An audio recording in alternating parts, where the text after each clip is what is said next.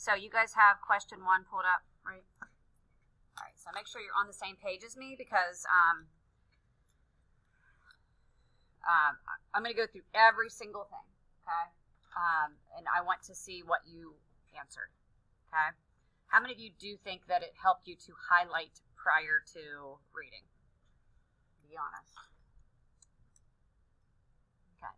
Those of you that don't, I assume you just, never mind.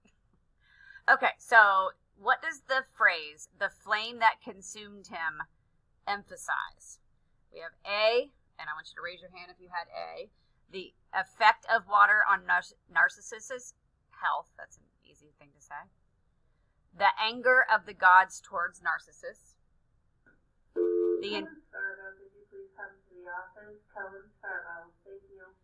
the intensity of Narcissus' emotions. And the capacity Narcissus has for love. Okay? Now, what I like about this is that when they release this, they explain things down here and tell you what exactly they were asking. This is a level two question, uh, so it's at the bottom. There's up, up to four on levels. Um, four would be like the essays that you do. Okay, you'll see that as we go along. So this is all about figurative language, word relationship. Um, it's 8.5. And the correct answer was C. And what I like about this as well, if you missed it, okay, it actually explains to you why you missed it. So I'm going to leave this on here. Did anybody answer any of the other ones that we need to keep it on this page? You thought it was A? Okay. It says this is incorrect. While the second portion of the sentence reveals what happens to Narcissus, the target phrase is not directly tied to the water or to Narcissus's health. So that's why that one's not right. So C is right because it says this flame is a metaphor for his obsession with his reflection. And like fire consu- consumes wood, it is consuming him.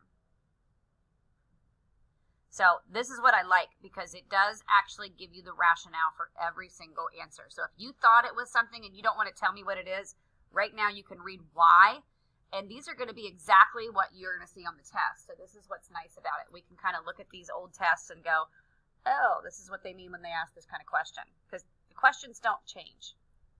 Okay?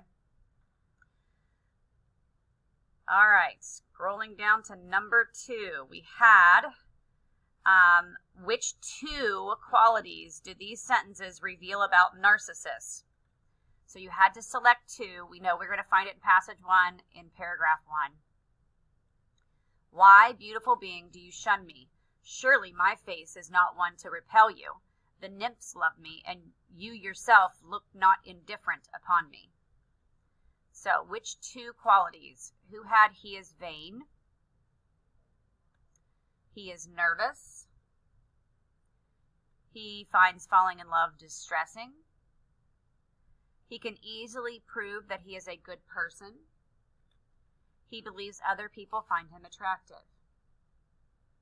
Now, you had to have two, and because if you look down here, points possible, the two have to be right to get a point.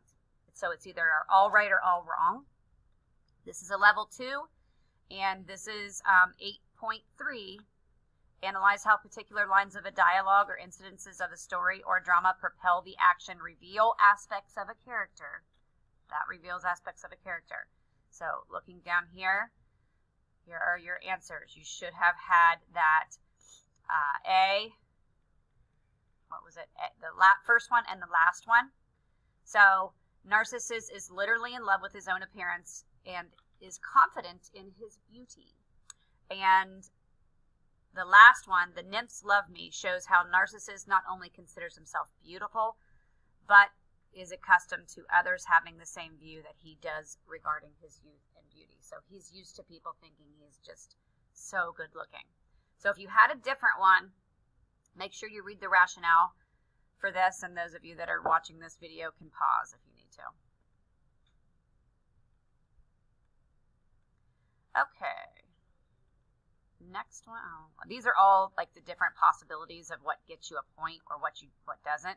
What you need to remember is that if you don't get the two that they say, you don't get a point. So that's all that it goes through every single thing. So, question three. This is one point. It's a level two question, and it's points of view or perspectives perspectives of characters uh, and the audience or reader. So, why is Dorian's mockery ironic? In paragraph two of passage two, it says, Once in boyish mockery of Narcissus, he had kissed or feigned to kiss those painted lips that now smiled so cruelly at him. Who had A, he does not know that others find him unattractive. B, he does not understand how to show real affection. C, he does not realize how similar he and Narcissus are. Or D, he does not know how the painting will soon be discovered. Okay, it makes sense that uh, in irony, he doesn't realize how similar he and Narcissus are. So in irony, um, that's C. Okay, if you had a different one, Make sure you read your rationale right now because it's important to know not only that you missed it, but why you missed it. Okay? So for C, Dorian is in love with himself and shows his infatuation with himself by longing to kiss his own lips, just as Narcissus was obsessed with himself. That's odd, isn't it? Anybody else kiss themselves in the mirror? Zai does. Okay. All right. So look at your rationale. Question four. Okay, we have in paragraph four in passage two, what does this sentence mean? So all we have to do is interpret this sentence. And when the winter came upon it, he would still be standing where spring trembles on the verge of summer. You had A, the lighting illuminating on the painting is influenced by the seasons. B, the changing seasons affect Dorian's attitude about the painting. C. Dorian's body will remain young while the image in the painting ages. D. The seasons will continue to change while the painting remains the same. Okay, this is a level two, understanding figurative language. And it is C. The seasons are used, used as a metaphor for aging. Spring is youth, summer is adulthood, fall is middle age, and winter is old age. Dorian is reflecting on the fact that the image will change, but his body will not. So if you had a different one, um, make sure you read your rationale for that. I think was the last one the closest one. Did anybody have the last one? D. Okay, good.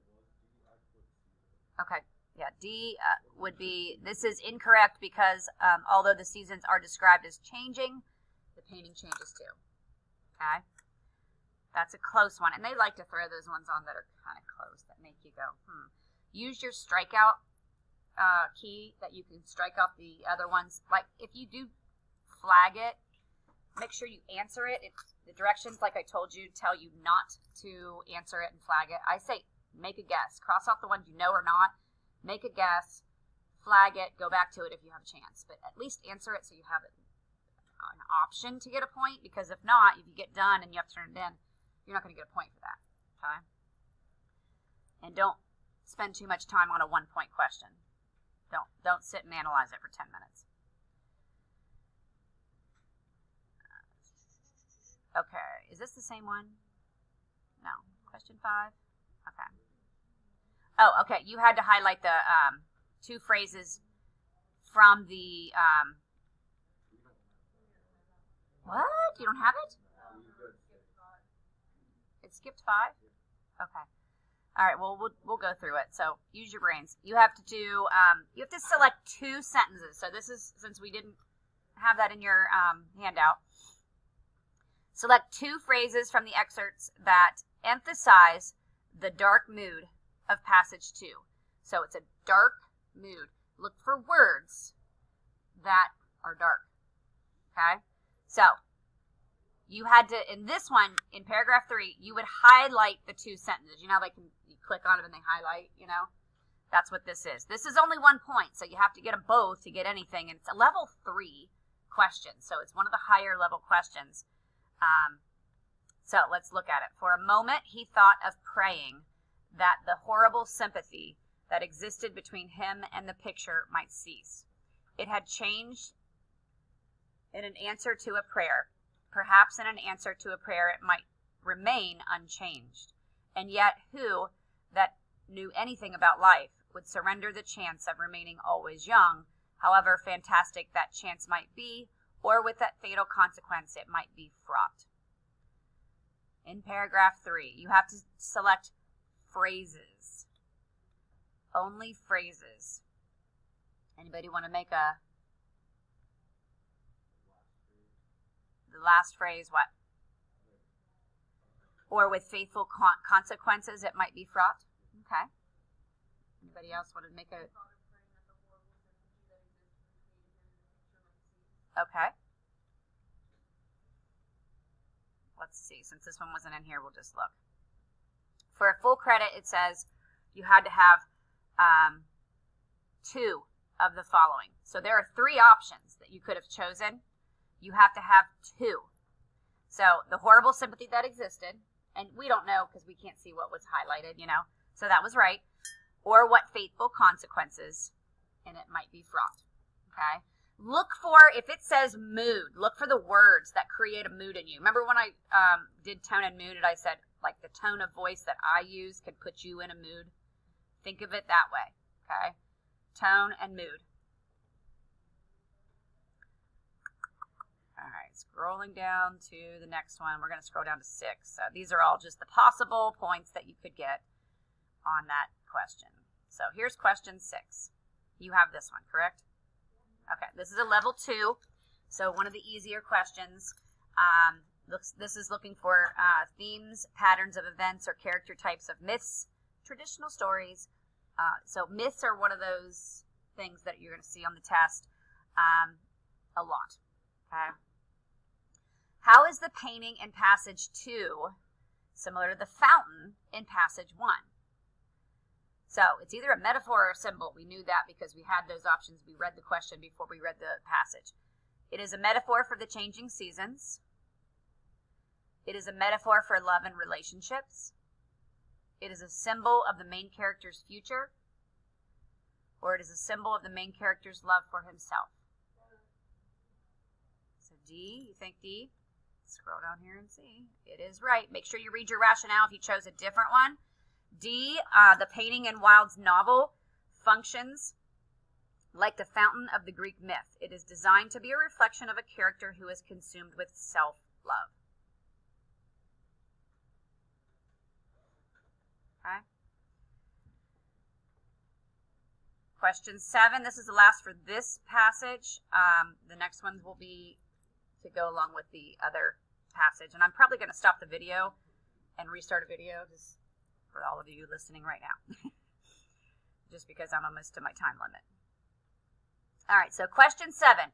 Remember, A has to be correct for you to get any points for B. And if we look at the point breakdown right here, this is a two pointer. So if there's an A and a B, it's a two pointer. But A is more important than B because if you don't get A, you can't get B. Okay? Or, yeah.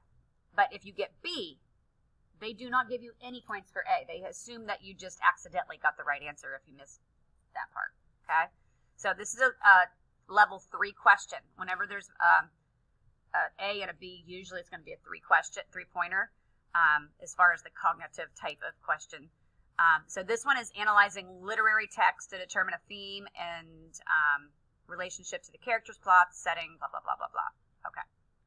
So, part A, important. What is a shared theme of both passages? And reading this question before you read that is something that helps you to find, because you've got four options. You can know as you're reading which one of those would fit. You know, it just makes sense to read these before you read the passage. So, what is the shared theme of both passages? A, you cannot escape fate. B, beauty cannot last forever. C, love can be difficult to find. D, appearances can be deceiving.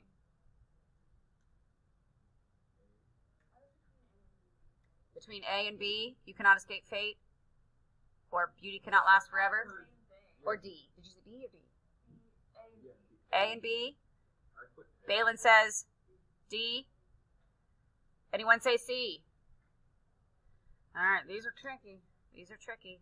Um, and then notice, make sure you highlight this stuff. I'm telling you, it will help you. So you have to have one of the